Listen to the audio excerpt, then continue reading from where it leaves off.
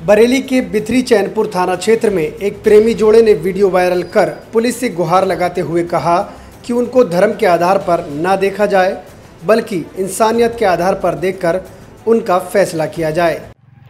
मेरा नाम रविंदर है, इनका नाम सहाना है, और ये हम दोनों एक दूसरे को पसंद करते हैं तो ये कल अपने घर से बिन बताए घरे, घर पे बिना बिना बोले कल घर से निकल आई थी।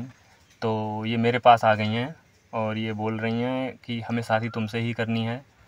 तो मैंने जो भी मुझे अच्छा लगा, जो भी मुझे प्रोसेस अच्छा लगा मैंने कहा थाने चल रहे हैं। तो हम थाना इंचार्ज बिथरी चैनपुर के पास जा रहे हैं और एसएसपी महोदय से हम रिक्वेस्ट करना चाहते हैं कि हमारे मामले को धर्म के आधार पर ना देखा जाए।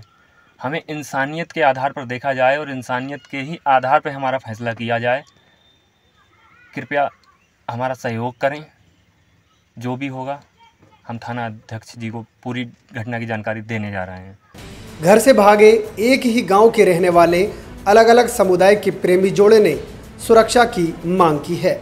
वहीं वीडियो वायरल करने के बाद प्रेमी जोड़ा थाने में पहुँच गया, जहाँ लड़की के घर वालों ने कार्रवाई की बात ना कहते हुए उसको प्रेमी के साथ जाने की इजाज़त दे दी। लड़की मुस्लिम, जबकि लड़का हिंदू परिवार से है। मेरा नाम रविंदर है, इनका नाम सहाना है, और ये हम दोनों एक दूसरे को पसंद करते हैं तो ये कल अपने घर से बिन बताए घरे, घर पे बिना बिना बोले कल घर से निकल आई थी। तो ये मेरे पास आ गई हैं, और ये बोल रही हैं कि हमें शादी तुमसे ही करनी है। तो मैंने जो भी मुझे अच्छा लगा, जो भी मुझे प्रोसेस अच्छा लगा मैंने कहा थाने चल रहे हैं तो हम थाना इंचार्ज बिथरी चैनपुर के पास जा रहे हैं और एसएसपी महोदय से हम रिक्वेस्ट करना चाहते हैं कि हमारे मामले को धर्म के आधार पर ना देखा जाए। हमें इंसानियत के आधार पर देखा जाए और इंसानियत के ही आधार पर हमारा फैसला किया जाए।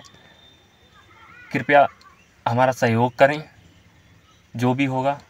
हम थाना अध्यक्ष जी को पूरी घटना की जानकारी देने जा रहे हैं। और इनके घर वाले कल से हम लोगों को ढूंढ रहे हैं। जो भी ढूंढ रहे हैं तो वो लोग मार डालने के लिए ही ढूंढ रहे हैं दोनों लोगों को। तो हमारी जान को खतरा है, इसीलिए हम थाना बिथरी चैनपुर अभी जाके हाजिर हो रहे हैं। तो एसएसपी महोदय, कृपया करके हमारा मैटर देख लीजिएगा। दिनांक 20 छः 2021 को, समय करीब दो बजे सहाना, पुत्री बदाम बख्श एवं रविंद्र पुत्र स्वर्गीय कृष्णपाल, थाना बिखरी चैनपुर है। इन दोनों के द्वारा बताया गया कि अपनी मर्ज़ी से शादी करना चाहते हैं और दोनों बालिग हैं। उक्त सूचना पर थाना बिखरी चैनपुर के द्वारा दोनों के परिजनों को सूचित किया गया। दोनों के परिजन थाने पर आए।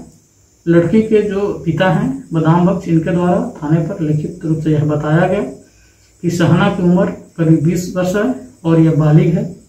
अपनी मर्ज़ी की मालिक है और ये जहाँ शादी करना चाहे वहाँ शादी कर सकती है। हमें इससे कोई आपत्ति नहीं है। हम इस पर कोई कानूनी कार्रवाई नहीं चाहते हैं और भविष्य में हमें इससे कोई लेना देना नहीं है। उधर दूसरे पक्ष जो लड़का है, लड़के के परिजन भी थाने पर आए थे। उनके द्वारा भी यह बात बताई गई कि रविंद्र की उम्र करीब बाईस वर्ष है। वो बालिग है, अपने मर्ज़ी का मालिक है। वो जिससे चाहे उससे शादी कर सकता है। हमें इस शादी से कोई आपत्ति नहीं है।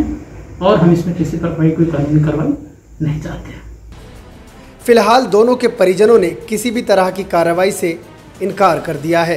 टाइम 24 न्यूज़ के लिए बरेली से सुनील सक्सेना की रिपोर्ट। मेरे चैनल को सब्सक्राइब करें और हाँ बेल आइकन दबाना बिल्कुल ना भूलें।